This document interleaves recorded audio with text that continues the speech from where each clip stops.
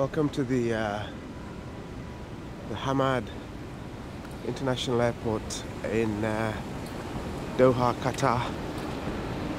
See the Qatar duty free there.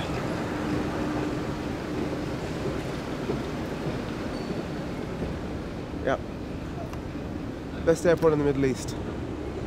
So they claim. Skytrax. It's the Hamad International Airport in Doha. It's uh, 3 o'clock in the morning. I've got a, uh, a five hour layover here. So uh, I thought I'd make a video place. Yeah, welcome to Qatar, welcome to Doha, welcome to the airport, Hamad International Airport at uh, 3 o'clock in the morning, all right? So it's, uh, it's not too busy, which is nice. I have the airport practically to myself. Uh, my flight out is at 5.50, so there's good two hours to go. And uh, just to prove that we are in an airport, I'll show an airplane. I'm just over here a minute ago, yep.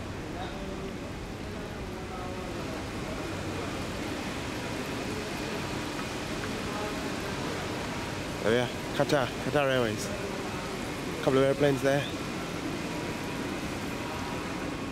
Yeah, home base for Qatar Airways. Yeah, so this is their uh, their airport here. Qatar Airways is uh, airport. I'm uh, flying from uh, Singapore through to Dubai.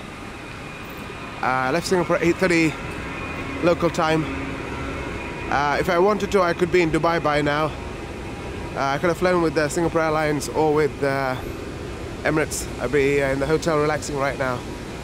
But I chose to fly with Qatar Airways because I want to get on the A350. Qatar Airways uh, the launch customer for the Airbus A350, so that's how I got here. Yeah, I want to try that. So, uh, and then the first flight in the morning to Dubai is at uh, 5:50 in the morning. It's part of the thrill of traveling, and I get to see this uh, best airport in the Middle East. There's some pretty good airports in the Middle East. There's uh, this one, obviously. There's Dubai, uh, Abu Dhabi, Kuwait, Bahrain. Uh, a few others. Tel Aviv's pretty good. I'm sure Saudi Arabia's good. Yeah, some uh, stiff competition there.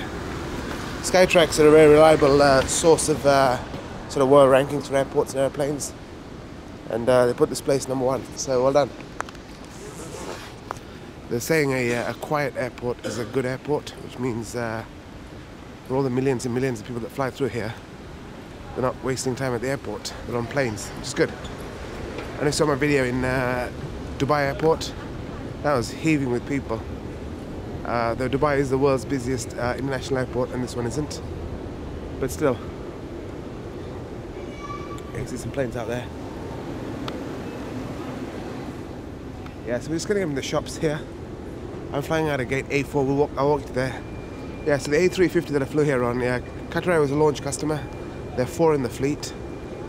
It's a really nice plane here. It's really smooth.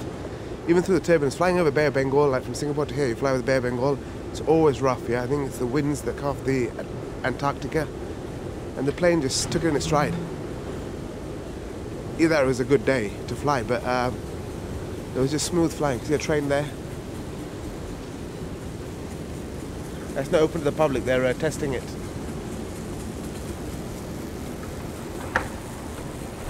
They're testing it. Yeah, train's not open to the public. Yeah, the A350 is just so smooth. Um, I don't normally watch films on airplanes. I watched one and a half films today. Yeah, I don't normally watch films on airplanes. Yeah, I just put the world map on and say, let's, let's just get to the destination. I watched two films on that plane. So so cozy and nice. Um, the seats are comfortable when you put them back. The leg room it's just so nice. The, the you know it's comfy comfy chairs, the design of the seats, just the ambience in the plane. Uh, it's nice. It's better than a Dreamliner. I've been on pretty much every kind of airplane. You know, Boeing's uh, 737, 747, 757, 767, 777, and the Dreamliner. I've been on Airbus A320, 30, 40, 80, and 350. We're just uh, let's look at the planes out of here. There we go. Destination. Yeah, so it's about quarter past three in the morning. So Dubai, that one's not Qatar, so I can't go on that one. Kathmandu, Trivandrum, Emirates going to Dubai, Nairobi. So that one's mine. QR1, Qatar Airways 1028, DWC 550. That one's mine. All these are flights. This one's going. Moscow, Tokyo, Manchester, Budapest, Lagos, Frankfurt. Yeah, it's not as uh, multinational as Dubai. I think uh, UAE are a few years ahead. Yeah, mine's a 552 DWC, that's Dubai World City. That's not the proper Dubai airport. It's Al Maktoum. It's a new one they're building in Dubai. Uh, it's halfway between Dubai and Abu Dhabi, just convenient. It's a free internet place here. Apple Macs, that's what I got at home. Absolute brilliant computers, much better than normal PCs. Much more powerful, much more user friendly, and they have it at the world's or the Middle East best airport. Apple Macs. There we are. Good choice, sir. I was getting to the shops area. There's a little cafe over there.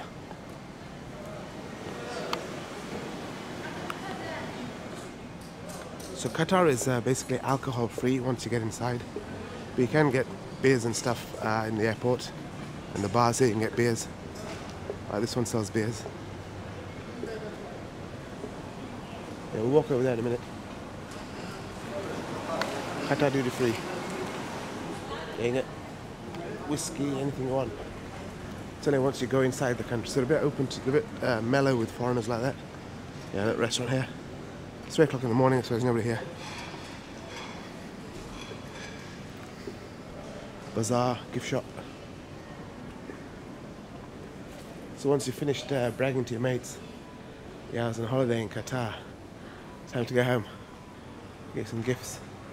Or not. Don't get it yourself if you want it. Yeah, so some shops around here. Let's walk, walk around all the shops.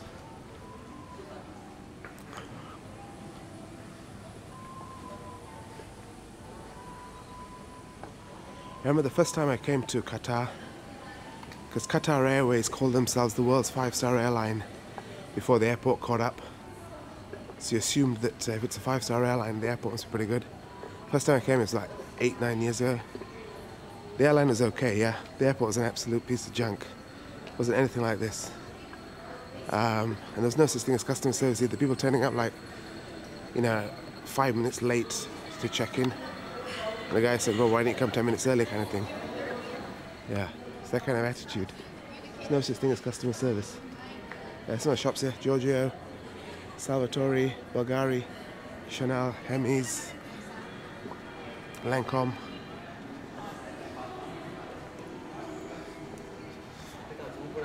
I'm in upstairs. I'm not going to either. Just uh, point the camera and walk. Oh, it's locked anyway, you can't. Yeah, so we've seen that shop, Marmalade. I did actually pass through here uh, last year when I went to that Banana Island resort. That's also in Qatar. That was a late evening, that was quite busy, it's fairly full. Uh, it's much nicer when it's like this. It's quiet. Yeah, perfume shop. Chanel, Givenchy, Dior. Let's look at some cars. So all airports have this. Uh, all airports have this. Uh, like you buy lottery tickets. Yeah, Bulgari. You buy a lottery tickets and uh, if you win, you get one of these cars. So Aston Martin. It's not the one that featured on the film Spectre. It's a nice set of wheels there. So ticket price is so one ticket costs 180 US dollars for a ticket. I'm not sure how many tickets they sell. I'm sure they make a profit. Uh, yeah. So look at the car on the side. So customs and immigration's up there. So you clear that and you come down here to the transit area. So I've been stuck in the transit area for about three hours already. Another two hours to go. So look at this car. Sort of stuff you do, yeah, when you've got five hours to waste in an airport. This one is a McLaren. So the ticket price for this is same, $180. Given the choice, I think I'd rather have the Aston Martin. That's just me. I think McLaren is slightly tackier than uh, Aston Martin. Alright, let's uh, go out this way. Yeah, that's what Qatar looks like. They're hosting the Football World Cup uh, 2022, I think. Yeah, 2022 Football World Cup here. I think the airport be twice the size by then. Uh, they're ordering loads and loads of planes. So, uh, nice little animal shop there. Yeah, I think the airport will be much bigger then than it is now. 2022 is still seven years away, yeah? yeah so the departure gates. I'm in A4. I'll take you there last. Yeah, I was just doing like a figure eight around the shops. Show my flight again. 1028 550 it's that one yeah so it's DWC not DXB you see DXB is the original Dubai airport DWC is at Dubai World City which is uh, Dubai World City is between uh, Dubai and Abu Dhabi which is more convenient trying to move in on the Abu Dhabi market smart this one's a McLaren as well with TAG Heuer. Yeah, so I've never been to Dubai World City before. It's called Al Maktoum. Uh, I'll see what it's like. But it's a, it's a, it's a newish airport, so it's still uh, under construction. Um, I think they're going to have like seven runways once they're finished with it. And then the old airport will just go to waste. Just not use it. Michael Kors. Hi. Hi, hi. Swarovski. The new Mercedes S-Class Coupe. Uh, the front lights have got Swar Swarovski crystals on them. There you go. I saw that in, the, in an advert on the magazine. Some other shops. Armani.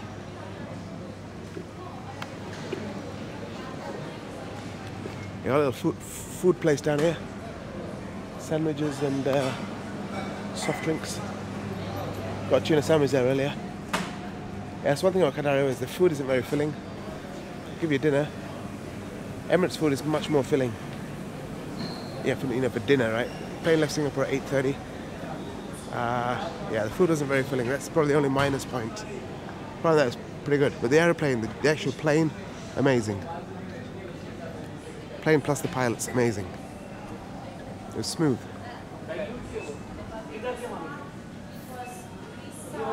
Yeah, Airbus. Right, going back to what I said, you know, I've been on every kind of airplane.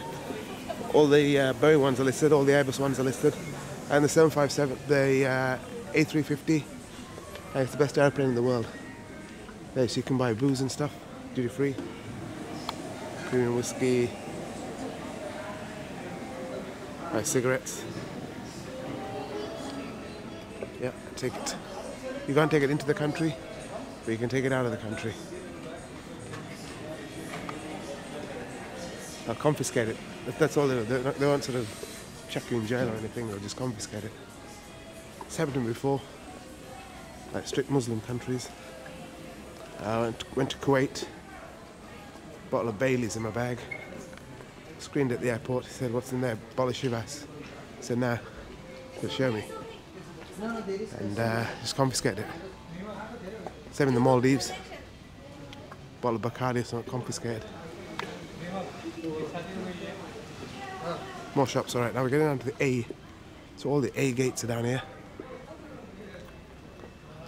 So it gets a bit quieter now. Past all the shops.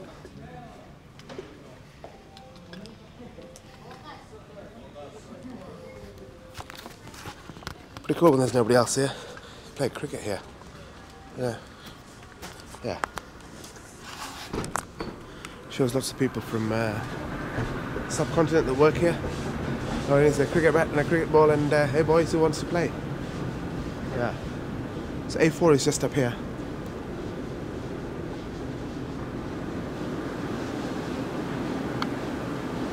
Best airport in the Middle East.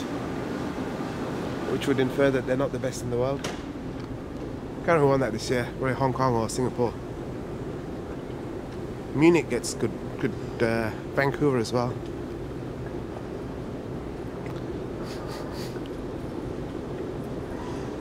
A few people.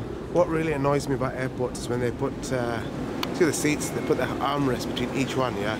So you can't sleep horizontally. A real pain. But what they do have, they have quiet rooms here. And I'll take you to the quiet room. Because the quiet room's right next to the gate A4. And there they've got proper place you can sleep. These people obviously don't know about it, yeah.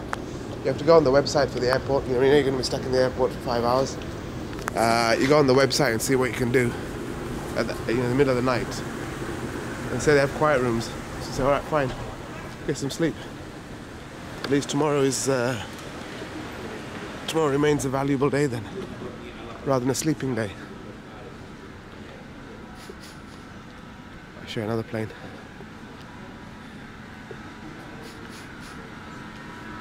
There's a couple of planes actually. So A4 is just up here. We'll just cut to the outside and uh, I'll show you a plane and then we'll cut the video at A4. That's where my plane is.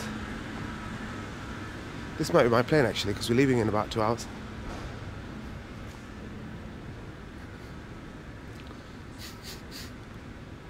Well, it's got the Oryx at the back, but it doesn't say Qatar. It's got the Oryx at the back, but it's near Qatar, so maybe not. That looks like gate A4. That plane there. Seen there. More than one plane at an airport.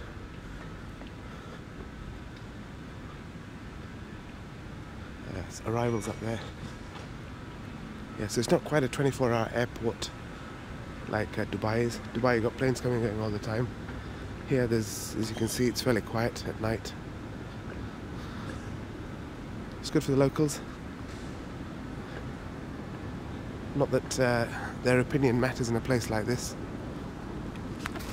Like London Heathrow, you know, to build terminal uh, runway number three. It's like uh, it's probably easier to put a man on the moon than the discussions that go on about that. Whereas in some other places, it's uh, like Singapore, you know, if you need the runway, you, you, just build it, right? Screw the people. All right, so this is gate A4. This is my gate. Uh, that's the one, A4. Dubai World City. At 5.50. DXB is the normal Dubai. That's uh, Dubai World City. Al Maktoum it's called. Say it better if you have a sore throat. Al Maktoum. Ready. That's a tour of uh, Hamad International Airport. Tour of Hamad International Airport at uh, 3 o'clock in the morning. Uh, I'll show the quiet room and then we'll call it, call it a day. So mine is that one. So we're nearly on the first screen. Look at the airlines. See Jet, Emirates, Cathay. Look at the airlines out of here. Qatar, Turkish, Cathay, three Cathays in a row. It's a code shared. Yeah, it's all code shared with Qatar.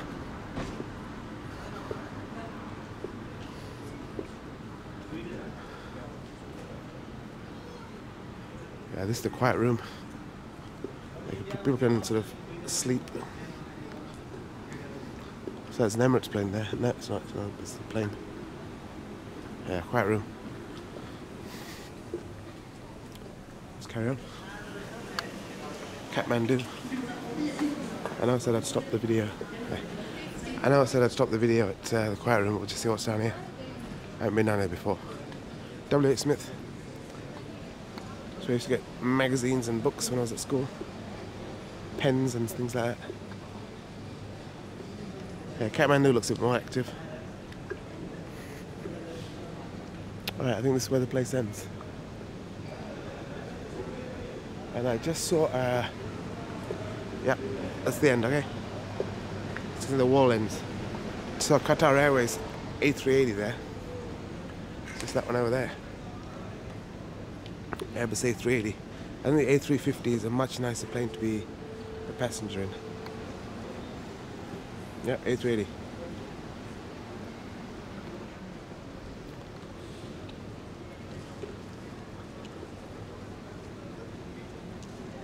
Alrighty, thanks for watching. Bye.